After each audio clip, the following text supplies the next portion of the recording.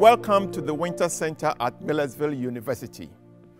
Under normal circumstances, this auditorium will be packed with an audience to celebrate the beginning of our new academic year.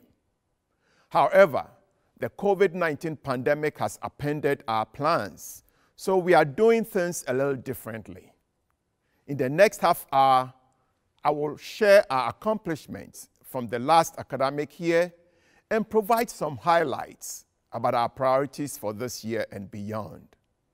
Welcome to the 2020 State of the Ville address. I want to thank everyone watching this event, especially members of the PASSHE Board of Governors, current and former trustees, faculty, staff, students, alumni, parents, friends, and community leaders.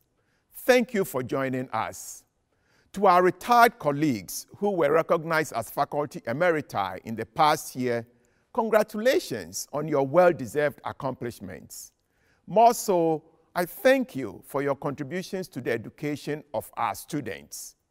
I invite you to continue your long standing relationship with our university and look forward to seeing you on campus. As we all know, the last academic year was unlike any in our history, and indeed in our nation's history. In the early months of this calendar year, we saw the SARS CoV 19 pandemic spread rapidly across the globe.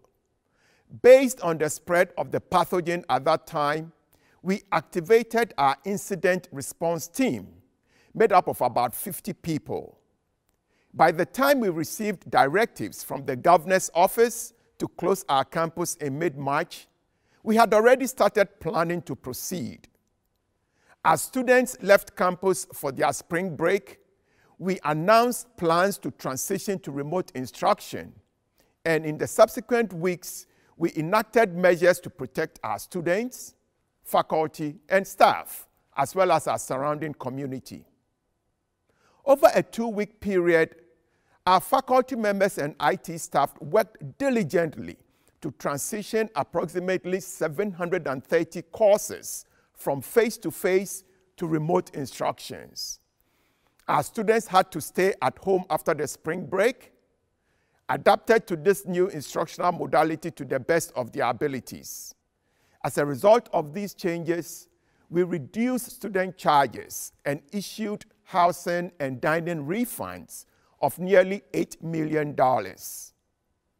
To help minimize the financial impact of the pandemic, we received CARES Act funding of $2.8 million for direct distribution to students.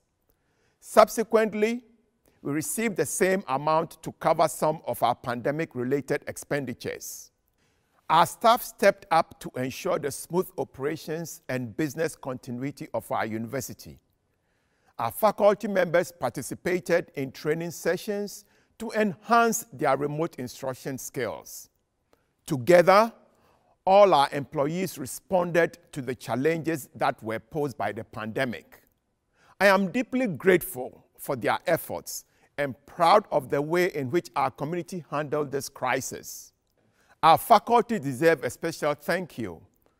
Based on my first hand knowledge through our conversations, I'm impressed by how you have spent each and every day since the start of the pandemic developing new and better ways to serve our students. You have risen to the challenge of transitioning to new modes of instruction and demonstrated the greatness we can achieve when we focus collaboratively on serving our students. The next few months will present challenges, but I am confident that we will rise to the occasion. This confidence comes from what you did last semester and the groundwork that you laid this summer in preparation for the new academic year. Your cooperative spirit and the resilient approach to your responsibilities are laudable. I'm excited to start the new academic year. I have already had the opportunity to welcome our new students and new faculty members. In addition, I extend a Marauder welcome to all our new staff, especially our two academic administrators, Dr. Rachel Finley Bowman Associate Provost and Dean of Student Success, and Dr. Mark Tomljanovich, Dean of the Lombardo College of Business. During last year's State of the Ville address, I introduced several major planning efforts. This is a good time to give an update on these efforts. First, the Institutional Accreditation Steering Committee, led by Dr. Lisa Shibley, Dr. Laurie Harnick, and Dr. James Dell, completed the reaffirmation of accreditation self-study. After submitting this report to the Middle States Commission on Higher Education, we were scheduled to have a comprehensive site visit at the end of March. However, the visit was postponed due to the pandemic. But I am glad to share that the site visit will occur this month. Secondly, from August of last year through April of this year, an 85 member All University Council developed a five year strategic plan. We used an inclusive and collaborative process that involved five teams working in sequential phases. After a review by the Strategic Advisory Council and my cabinet, the plan was endorsed by our Council of Trustees at their June meeting. I am grateful to all the people who collaborated to produce this plan and look forward to its implementation. This plan, named Tradition and Transformation, will serve as our blueprint for the next five years to move our institution to higher heights. Thirdly, as we are all aware, in order to deliver the top notch academic programs developed by our faculty members, our students deserve the right kind of learning spaces. That is why we carried out a campus facilities master plan. This plan generated a long term vision for our campus and provides a roadmap for future capital improvements that will connect and beautify our campus while providing best in class instructional and co curricular spaces for our students. This facilities master plan is one of several plans that were incorporated into the integrated planning approach we use to develop our new strategic plan. In addition, we implemented several initiatives to support enrollment, affordability, and engagement. To support persistence and help shorten time to graduation, we launched the 30 to Graduate initiative, this initiative raised awareness of the importance of taking 30 credits per year to stay on track to graduate in four years. Despite the pandemic, we graduated over 1,300 students, but had to postpone our commencement to next spring. We also opened our Student Success Center in Lyle Hall. This center is made up of the Registrar's Office, Student Financial Services, learning services and tutoring, international programs and services, and the College of Education and Human Services Advisement Support Center. The center is also the new home for the Center for Academic Excellence and our instructional design team, which will have spaces to create a synergistic faculty training center this fall. Affordability continues to be one of our top priorities. As the pandemic unfolded last spring, we recognized the immediate need to cut costs for our students. As a result, we reduced spring 2020 campus fees by nearly 50%. We also established the EPIC Student Compassion Fund, which raised over $40,000 from employees, alumni, and friends to support students in need of emergency assistance caused by the pandemic to ensure that we keep the cost of attendance within reach for our students and their families, last month we reduced the general fee for this fall semester by 27%. With this reduction, our university has decreased the cost of attendance for our students for two years in a row, which is unprecedented in higher education, especially under the current financial climate. That is the Marauder way. It is another demonstration of our commitment to provide our exceptional education at an affordable cost, which incidentally is our vision statement in our new strategic plan. Our donor community continued to support our university. Last year, the Imagine the Possible campaign continued its upward trajectory with the support of our generous donors. Allow me to share a few highlights of the third year of the campaign. Last December, we received the single largest gift in the 165 year history of our university. This gift came in the form of a $3.5 million check toward nursing scholarships from Miss Liselette Wertheim, class of 1974. She was an adult student who attended Millersville University as a non traditional student. The legacy that she has left will benefit future generations of students who choose nursing as a career. My dear friends, Sam and Dina Lombardo are setting new standards of generosity towards our university. Last spring, they announced their astounding gift of $3 million. This kind of generosity doesn't occur by accident. The Lombardo's gift will forever provide opportunities for students who will otherwise not be able to attend our university. Still on fundraising, we exceeded expectations during our one day give event. In the seventh year of this much anticipated event, we surpassed last year's numbers, both in total dollars raised and in total number of donors. Over 1,150 donors gave or pledged nearly $292,000 in just 24 hours. On behalf of our university, I want to thank all the people who participated in this remarkable community event. In particular, I would like to recognize the over 150 student athletes who made gifts this year. This was a clear demonstration that generosity exists throughout our university. I look forward to reaching new heights during next spring's One Day Give event.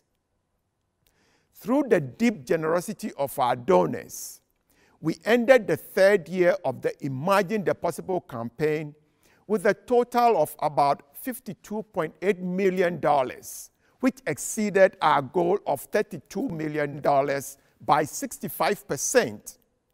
Once again, thank you for your support. Last year, we made progress in developing new partnerships to benefit our students. For example, our Student Access and Support Services program was awarded $345,000 for the Gear Up grant. This program empowers local partnerships between K through 12 schools and institutions of higher education to better prepare and support students from low performing districts. Also, we designed a new academic program in collaboration with Lancaster General Hospital to support their employees and other professionals in the growing field of population health. As the saying goes, the only place that rewards appear before work is in the dictionary. At Millersville University, our ethos is to work hard and allow the rewards to follow. Congratulations to all our faculty who received grants and awards. Their efforts bring recognition to our university and strengthen our institution. Faculty members such as Karen Rice, Thomas Bell, John Wallace, Mark Snyder, Tim Mahoney, Leonora Foles, Barry Atticks, Kirsten Bookmiller, Stetson Erwin, and many more have helped elevate our profile regionally and beyond. Our university was also recognized for some of our exemplary initiatives and services we were reapproved for the prestigious Carnegie Community Engagement Classification for another five years. This designation is the highest standard of recognition for community engagement efforts at institutions of higher education. Our police department continues to gain national recognition. They developed a community policing specialist position, the first in PASSHE and among the first in the nation. According to yourlocalsecurity.com, this award recognizes the training and qualitative differences between community policing and traditional police patrol officer duties. Forward looking actions like these make us one of the nation's safest campuses and the safest school in Pennsylvania. In October, the American Association of State Colleges and Universities awarded Millersville University the Excellence and Innovation in Sustainability and Sustainable Development Award. This award not only recognized the Lombardo Welcome Center's exceptional zero energy performance, but also our efforts to incorporate sustainability into the curriculum. Last December, Millersville University established a chartered circle of the National Leadership Honor Society, Omicron Delta Kappa, ODK. Our university is the second institution in PASSHE to have an ODK circle. Establishment of this circle on our campus is a reflection of our efforts to provide excellent educational experiences for our students because only 15% of all four year universities nationwide have an ODK circle. A major focus now and in the years ahead is to align our curriculum with regional workforce needs. Last year, we added seven new undergraduate academic programs to our curriculum. We also added a new graduate program, Educational Specialist in School Psychology, as well as four new minors, five certificate programs, four undergraduate program concentrations, and two graduate program concentrations. These programs were developed in partnership with local industries. Hence, they align with regional and national workforce needs and will help us respond to the growing economic challenges presented by the COVID 19 pandemic. A special highlight for our university this past year was to establish the Lombardo College of Business. This is the first college to be named in our 165 year history. Through the generosity of Sam and Dina Lombardo, we have established this college, which has already graduated 93 students and is positioned to impact the local, regional, and national business landscape. We also continued to excel on the stage, on the court, and on the field.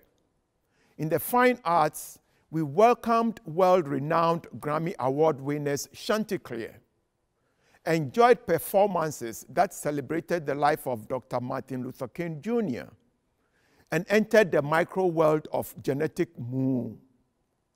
Our athletic department fulfilled its vision of providing a championship experience that develops leaders who change the world. We had many successes in the fall. And while our spring competitions were cut short by COVID 19, our student athletes performed well in the classroom. 169 student athletes achieved a 3.0 GPA or higher. One of the key characteristics of an institution that focuses on the liberal arts is mentorship for students. As an institution that is committed to preparing our students for successful careers, we made progress last year in providing mentorship opportunities.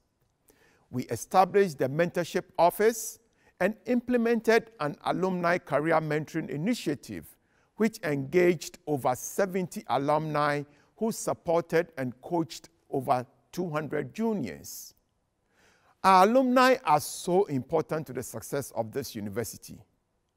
This past year, through the work of the Advancement Division, we engaged over 2,000 new alumni through communications, events, volunteer opportunities, and philanthropic activities.